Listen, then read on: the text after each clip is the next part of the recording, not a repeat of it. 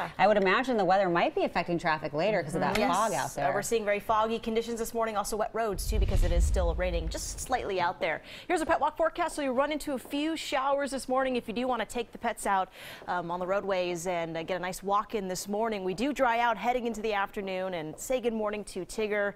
Uh, apparently he had to stop and look at every squirrel he saw. So I know a lot of owners deal with that on the regular, but a cute shot there. Thank you for setting that. Looks like a nice day at the park a couple weeks ago. Uh, but again, highs today back in the mid 40s overall. We do dry out later today, but still we are getting that dense fog out towards the metro. This is a look at the Burnside Bridge right now. Very foggy in downtown Portland. Temperatures in the upper 30s at the moment. Uh, we're getting a nice uh, east wind there at six miles an hour, very light out there. So here's our visibility map. It says that we are I'm not seeing much out towards Vancouver, Portland. At the airport, at least, visibility is fairly good. But as you head south down the I-5 corridor, we are getting dense fog and even denser as you move down towards Salem into Eugene. Out towards the coast as well, it's foggy. Towards Hood River, again, we are looking foggy as well. Still some light showers working through too. Those do taper off heading into our afternoon, but overall, we are watching out for some slick roads out there this morning from the rain. And out towards Hood River into the gorge here, we're getting some uh, readings of a wintry mix there, maybe some light freezing rain as temperatures are still just about at freezing.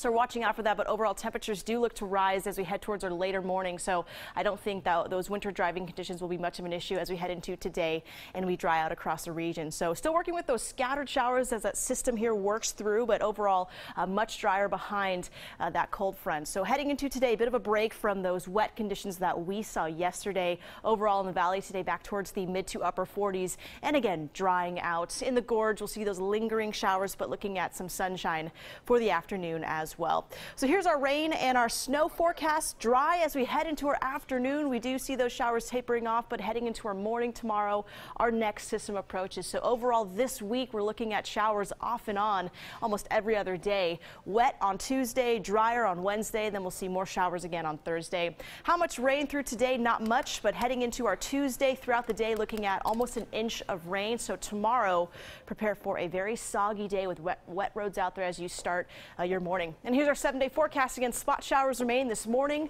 but overall, uh, we'll see a mostly cloudy day, highs in the mid to upper 40s. And heading into tomorrow, breezy winds back in the mix, and we're looking at some good rainfall through the morning and afternoon. Carly.